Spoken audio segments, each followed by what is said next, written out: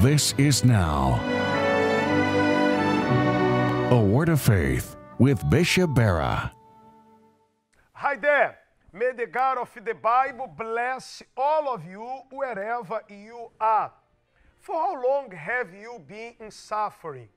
For how long have you had the same problems, the same situation? I know that by now you are sick and tired of this problem. You are fed up of this situation because this problem is lasting forever. At first, the number one of this problem, you thought it is going to be over quickly. But now came one month, one year, two years, three years, four years, ten years, and there you are, battling with the same problem. You are battling with the same situation.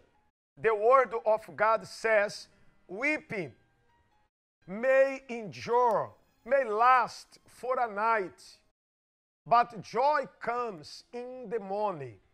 Joy comes in the morning. And I always say, joy comes this morning, this afternoon, yes, this evening. The joy of God comes to you when you exercise your faith.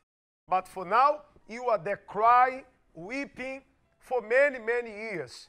Let us put a full stop to this problem, to this situation. God does not want you to suffer for the rest of your life. That's why the Universal Church is open every single day, non-stop. For the past 42 years or so, this ministry is opened every single day. Yes, I mean it. From Monday to Sunday, even today, you can come to one of our churches. Besides, we have a 24 7 helpline, the line that is available for you. We have pastors always on duty waiting for you. Do not give up. This is not a time to give up. It's a time for you to say to this problem, enough. It's time for you to say to this problem, I want you out of my life.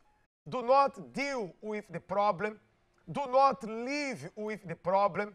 Do not battle with the problem. What you have to do is to overcome by your faith. If you need spiritual help, you can count on us.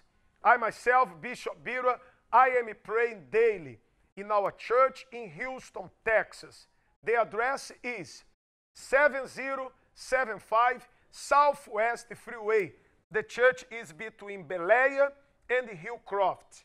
But we have many churches all over Houston, Texas, all over USA, Florida, California, New York, New Jersey, Ohio, Detroit, South Carolina, North Carolina, Alabama, Georgia, in many states here in the USA and all over the world, all over the globe. God wants you to stop suffering. Stop crying because your problems are not worthy of your tears.